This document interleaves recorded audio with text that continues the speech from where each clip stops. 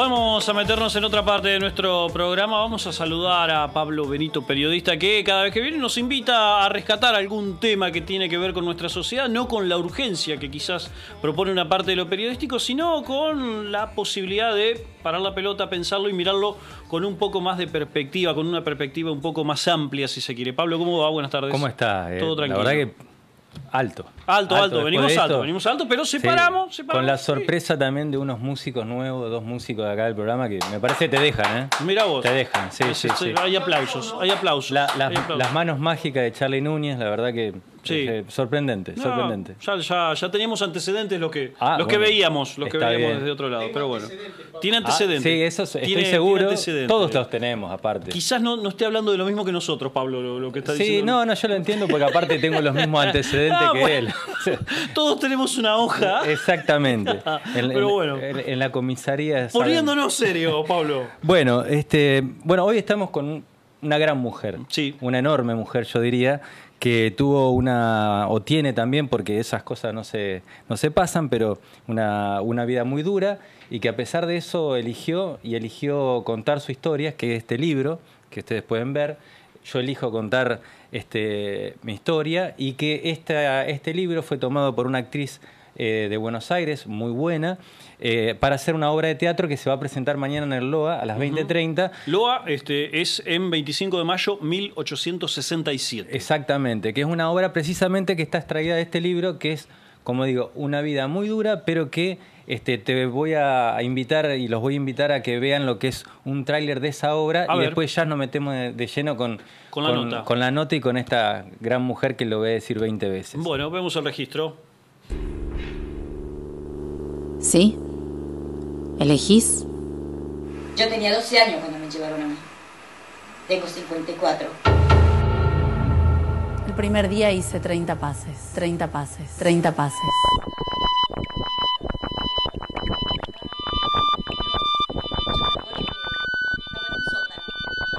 Cuando se hacía la verdad estaba en un sótano, éramos chicas. Tenía 12 años y éramos toda una tanda de como 15 que habíamos ahí. Me metían y ponían la mesa ahí arriba y... ¿Cómo explicar el dolor que se anuda y atraganta en mi pecho? El fuego que nunca se apagó, la infancia que no tuve, la madurez que me inventé y esta vida que no elegí. El juez sigue yendo todos los viernes al cabaret. Acá hay un juez que firma, pone su firma, su nombre, todo o casualidad el sello en el apellido está medio borroso, en donde se levanta la clausura preventiva del hotel. Los famosos se sacan fotos con dueños de cabaret y nadie lo cuestiona. Yo tuve mis tres hijos mayores en cautiverio. Tenía que estar embarazada y los sucios buscaban todas las chicas que estaban embarazadas. Soportando cochinadas de cerdo que pagan para que yo haga el trabajo sucio, eso que no quieren mostrar a la sociedad. Y corrí, corrí yo cuando me, escapé con mi hijo de un hospital, cuando me fui a parir en un hospital. Yo me escapé por mis hijos, yo lo hice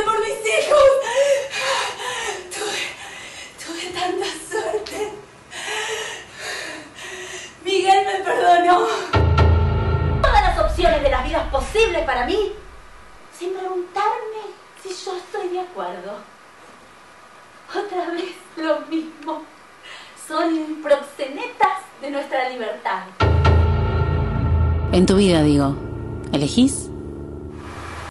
Eh, poco más de un minuto dura el video, creo que recibí ocho cachetazos en lo que, en lo que dura eso.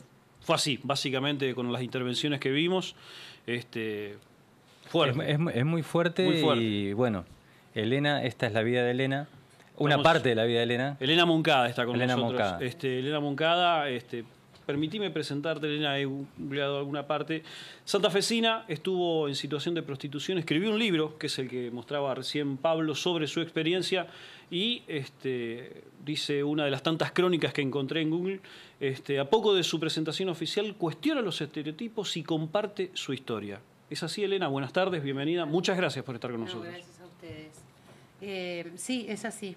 Eh, nosotras queremos mostrar, desde mi experiencia, el libro pretende mostrar eh, cómo la prostitución no puede ser llamada trabajo, sobre todas las cosas, somos abolicionistas y esta versión de, esta parte que se sacó del libro, que es lo que va a presentar Mariel Roxiano mañana eh, en el Teatro Loa, eh, tiene que ver con pensar a las mujeres desde el lugar que se elige y no el sometimiento que se sufre en las esquinas y todo el tiempo lo estamos viendo. Santa Fe, eh, nosotros hacemos recorridas nocturnas con las compañeras eh, tenemos un grupo que nos llamamos Mujeres en Actividad desde hace nueve años. Eh, estamos en Villa del Parque. Y la verdad es que mm, a veces en vez de, decir hay menos, sumamos más y lamentablemente sumamos menores, muchas menores. Y bueno, y hoy por hoy con la crisis también vuelven las, las que se habían retirado lamentablemente a las esquinas. Pablo, eh, Elena dice es abolicionista. Estaría bueno que les expliquemos a quienes nos están mirando ¿Cuál es la, razón en este caso de dividir el abolicionismo? que claramente, como la palabra lo dice, es aquel, aquella corriente de pensamiento, si es que cabe ese término o esa descripción, es porque se termine la prostitución. En cambio, hay gente que milita dentro de la prostitución y entiende la prostitución como un trabajo. Ahí está quizás una, dicotomía. Claro, que plantean el regulacionismo, ¿no? Mm, este, que es, regular la actividad como un trabajo y también está la parte que que, lo plantea desde el abolicionismo. Entonces, también cuando hablamos de feminismo, tenemos que saber que tenemos que hablar de feminismos. ¿No? Porque no es una sola expresión. No, no, claro. O sea, es muy amplio en ese sentido. Es una discusión que lleva mucho tiempo. Incluso, incluso yo eh, recordábamos hoy en una en la dedicación, dedicatoria, perdón, que está en la en, el libro que hace, nos conocemos hace exactamente un año, este, y yo la, pregunta se la hago siempre y me gustaría que me la conteste también, ya que estamos en este espacio para pensar, de que, por ejemplo, con el tema del aborto, eh, las mujeres dicen, bueno, mi cuerpo, mi decisión.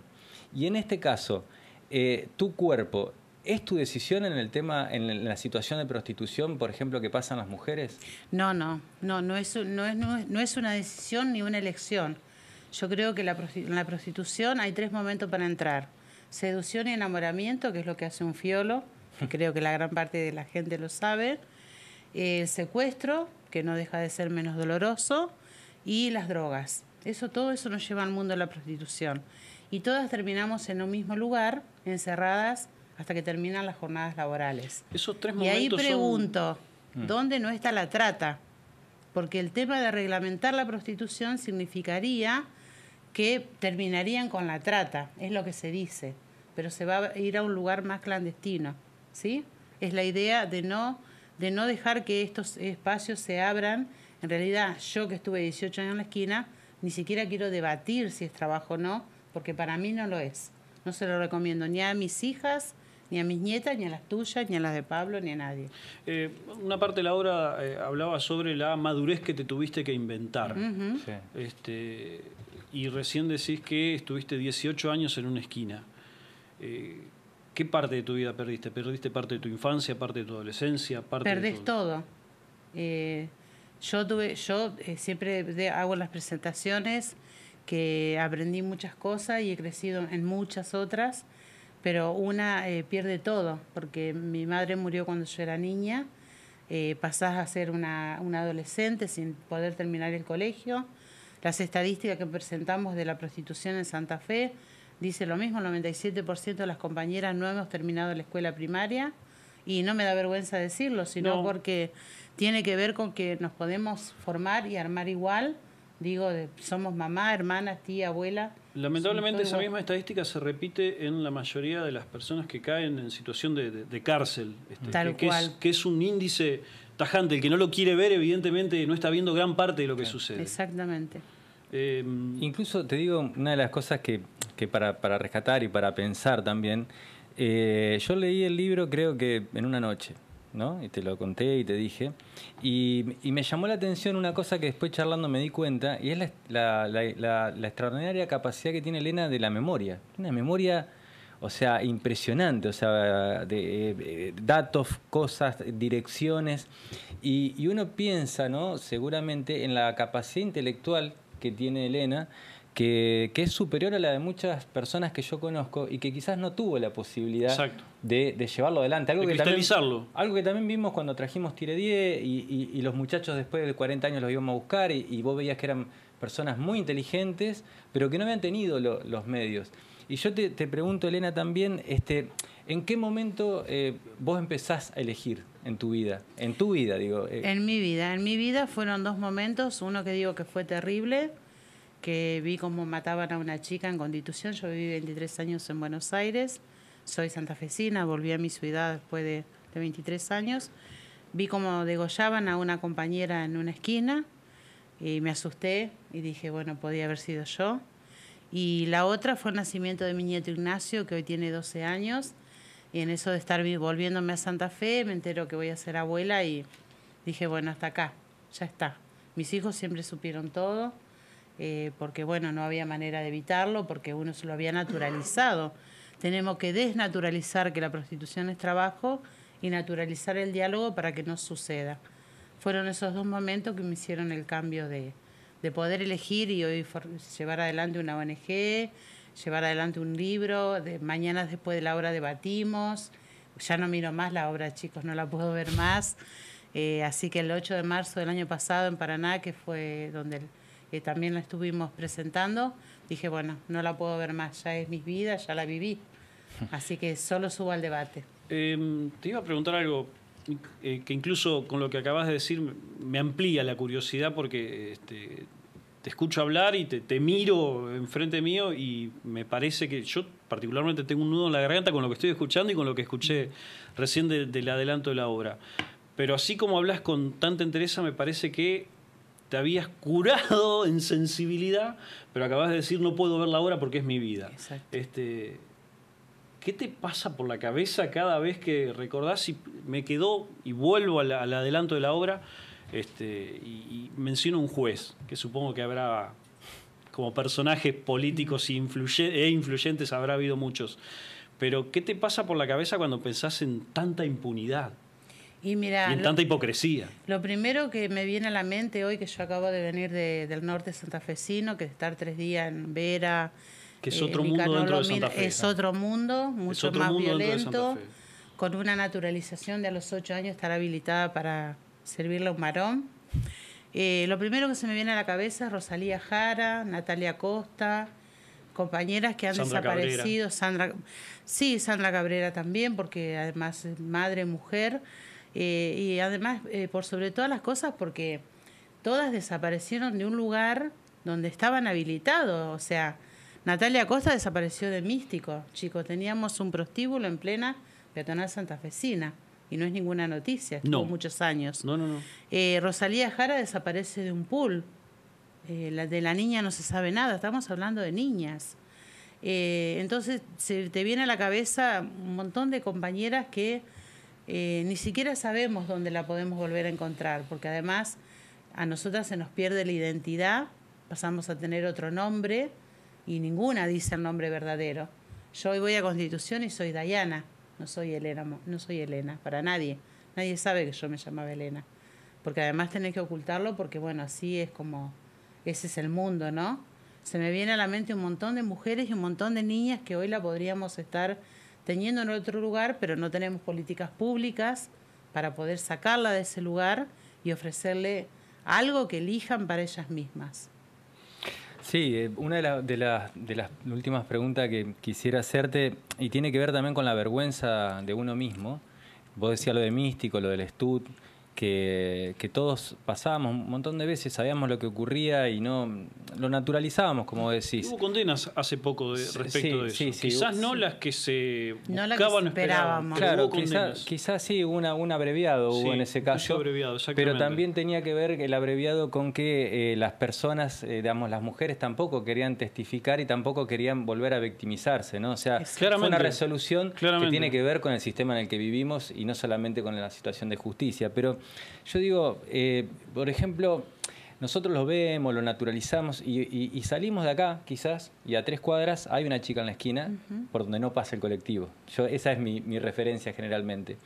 Y a cualquier hora, Pablo. Y a cualquier hora. En los últimos meses, a cualquier hora. A cualquier hora. Claro, y yo te pregunto, detrás de esa, de esa chica, este, que, que bueno, ¿cómo actúa el fiolo y también cómo actúa la policía?